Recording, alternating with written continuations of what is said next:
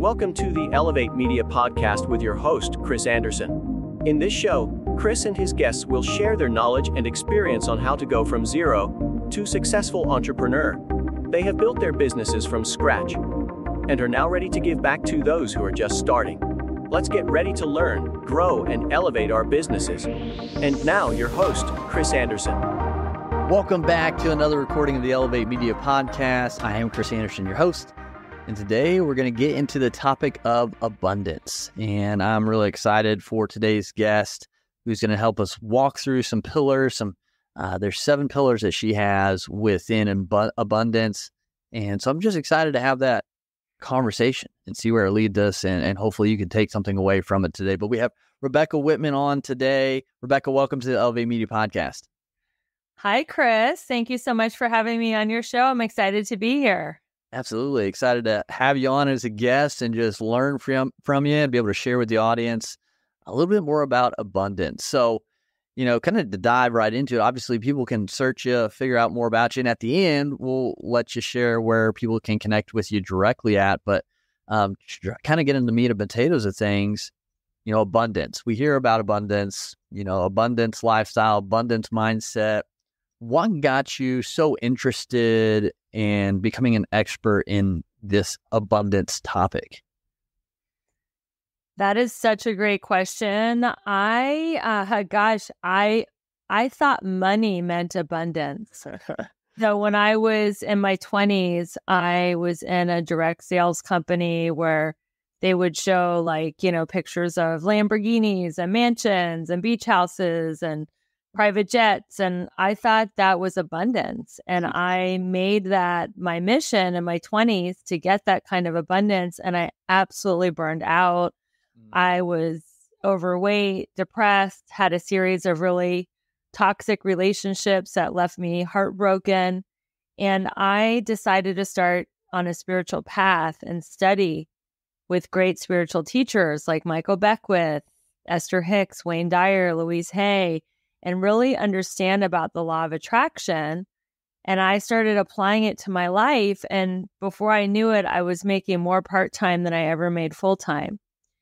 And I realized that abundance wasn't necessarily just how much money you made, but all aspects of life. And the seven pillars of abundance are spirituality, fitness, emotions, romance, mental, social, and financial. And when you have all seven areas of life in alignment, you can be, do, or have anything you want. So life still happens. I yep. ended up getting a divorce and losing my dad uh, within three days of each other. Mm. And a few months later, I was sitting across the desk from my financial planner, and he asked me, How did you do it? I'm looking at your portfolio, and you're having your best fiscal year ever and your energy is really good, but you've had these tragic losses. And I explained to him that I look at life in these seven areas. And even though my romance was falling apart, and even though I felt the emotion of losing my dad, I still had my friends and my fitness and my different income streams. And he said, I think you should teach people hmm. how to do that. So I wrote a book it's called How to Make a Six Figure Income Working Part Time. And in the book, I outline in depth all seven areas of abundance and how you can get them in alignment. And now I coach women on how to go from burned out and overwhelmed to balanced, beautiful, and abundant. That's awesome. So, why do you think people, or where do you think people go wrong to not be living an abundant life? Is it just something we're kind of conditioned into? Not to to know how to do, or where do you think we kind of miss the mark? I think it's in our thinking. Mm-hmm. We have a reptilian brain called the limbic system, and it is conditioned to be in fight flight. It is conditioned to be in scarcity because okay. when we were cavemen and cavewomen, we didn't know when there was a saber toothed tiger or a woolly mammoth coming right around the corner. So we had to always be like, oh my God, oh my God, what's going to happen? Yeah. But now we have everything, you know, we can hit a button and have anything at our doorstep through Amazon. We're working from our home in our pajamas. Like there's no need to have this fight or flight, but we still have that. So it's about being aware of when we are in scarcity versus abundance thinking. Scarcity thinking is there's not enough good, there's not enough money, there's not enough mm-hmm. energy, there's not enough love, there's not enough approval, whatever it is that you want, there's not enough versus I have plenty of energy, I have plenty of love, there's plenty of romantic options out there if you're single, and uh, there's no shortage. So it's just really being very aware of your self talk and how you talk to yourself is going to create your reality. And how's that, how does that do that? Because you know we could say you know bank account zero, and we can tell ourselves, oh, it, there's there's plenty of money out there. You know they're they're continuing to just print money out there. There's clients out there. So how does that actually you know start changing? Is it just you know our instead of a negative energy, we start just have positive, like, hey, good's coming, like it is coming. Yeah. Kind of I mean, you can't just do fake affirmations and get results. Like, right. You can't be like, there's plenty of money, but I freaking hate my job. I hate my boss. I hate my spouse. There's like five dollars in my bank account. Uh, these affirmations yeah. for work. Like, huh. there's a lot more inner work that okay. has to be done, and that's why people do hire a coach like me to help them get down to their limiting beliefs and mm-hmm. change them. So I would say we all have an old story about why we don't have what we want, whether it's love or money or health, whatever it is. And we, in coaching with someone, I help them figure out what that limiting belief is, why they got it. And then we work on having a new belief, which is supported through affirmations. Mm-hmm. So uh, it, it does take time. Yeah. But I will tell you this the law of attraction does not give a shit how much money you have in your bank account. Right. I have friends who had $7 in their bank account and they manifested their multi million dollar acting job.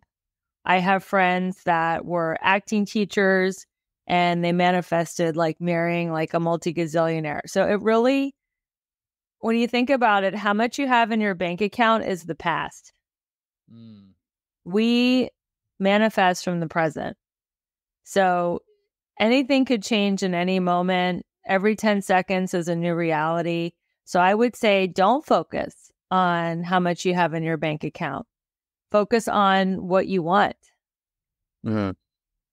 So when we, if we can do that, if we can understand there's an underlying limiting belief, and we mm-hmm. can start, we found that, and we start mm-hmm bringing in these affirmations that are true and we and we live in the now what does that look like? What does that change look like in people's lives? It is a relief honestly because i was someone that was in a lot of scarcity thinking and i was very vigilant very competitive. I could be even like you know freaking aggressive, you know, when it came to fighting over like a guy or what I wanted, like in my job. And it's just like, oh, there's plenty to go around. There's plenty of sand at the beach. You don't have to fight over a patch of sand. You don't have to fight if you go swimming in the ocean over a wave. Like it's just a it's a realization that made me feel so much more relaxed and at ease and I could actually become playful and joyous, hmm. knowing that there was plenty of good to go around. Yeah. And and if someone's at a stage where they don't know what that limiting belief is, besides obviously getting a coach in this area, are there things they can do personally to try to start figuring that out where that limiting belief truly is? Yeah, I mean, I have a free quiz on my website, RebeccaElizabethWhitman.com where you can see which of the seven areas is out of alignment.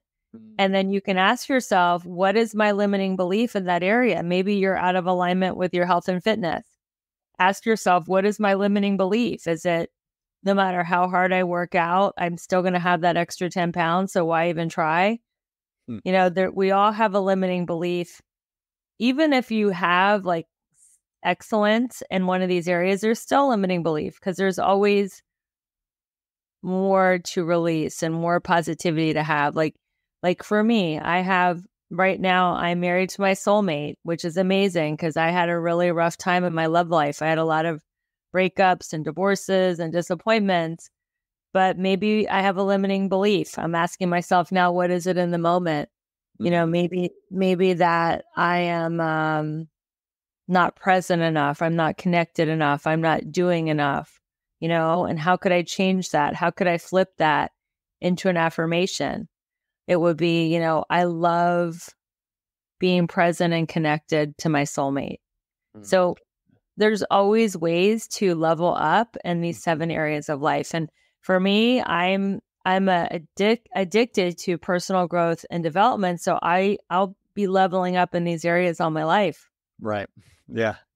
Yeah, I don't think we ever get to the stopping point, right? I think yeah. we can always grow and always learn and always improve. You know, I just actually was commenting on a guy's post today, asking, you know, as far as an interviewer, are you brand new? Are you kind of into it? Or are you uh, experienced? Or if not, or other, tell me why. And I said, I picked other. I said, I'm experienced, but there's still so much room for growth. There's still so much areas that I could improve in, even now, even still after, you know, 300 something episodes of interviews. And uh, it's the same thing I think in our, in our abundance journey, in our, in our mindset. There's always room for that improvement and growth. Absolutely. And uh, congratulations on over 300 interviews. I'm, I'm sure you're a much different interviewer now than you when you first started. Oh, yeah, definitely. And, you know, the first ones are still up, which is crazy, uh, looking back how bad they were. So, um, but yeah, I think even then, like, it's just a mindset. Like, I think even with that, you know, limiting, limiting beliefs of as an interviewer, like, no one's going to listen to me. Like, uh, I'm not worth, like, the time of someone tuning in, you know, at the beginning, having to work through that. And like now it's just, I'm excited to put something out that people can learn from and, and grow and, and changing the mindset around it. Absolutely. And uh, I, I agree. I know that feeling because I put out a lot of content. It's like, yeah. oh, nobody's watching, nobody cares. I'm like, you know, putting out content to like, you know, crickets. But the great thing about putting out content is it lives forever. Yep. So even if nobody watches it the first time you release a podcast or the first time you're on a live, it'll it'll live forever. Yeah, and it's it's just a process too. And like all you know, the whole journey since I started 2019 the podcast, like those moments where someone would reach out and say, Man, what you're doing is awesome. Like I took so much away or I really enjoy this. It's like, okay, even if it's just one person's helping. Like even if one person is taking something and being able to improve. Like, all right, this is worth it. And, you know, you just, it just changes how you look at it. So, you know, with abundance, do you notice a, a pattern with the seven pillars? Like, are there certain patterns that usually are, are the, in, or are one of the pillars more, how I want to say it, are one of the pillars usually the ones people struggle with limiting beliefs more than others, like money or relationships more than some of the other ones, or are they kind of even? I think mo- love and money are the two hot points. Yeah. What do yeah. you think that is? I think because they're necessary for our survival. You know, money is literally, if you don't have money, you can't provide food and shelter for yourself. Yeah. And love is such a basic need. You know, when we're babies, we need to feel that love and connection to a mother, or mm-hmm. we perish as a baby. You know, so I think they're both very primal and they're very connected. You know, when you're having uh, good experience making money, then it's usually easier to be a loving, kind person. And, you know, vice versa. If you're like it, having a really terrible relationship that's toxic and abusive, it yeah. makes it really hard to make a lot of money. So the two are very intertwined. That's a great point and a great way to look at it. You know, I never thought about being intertwined, but it makes a lot of sense. Uh, so for those listening, they're they're trying to start something. You know, they're trying to start a side hustle. They're trying to start a business, get it to the next level, and they've been working on themselves. Maybe they found again their limiting belief. They kind of know what it is, and maybe they are struggling with money. Or since we're in the kind of the business realm, or maybe they're not at the level they want to get to yet.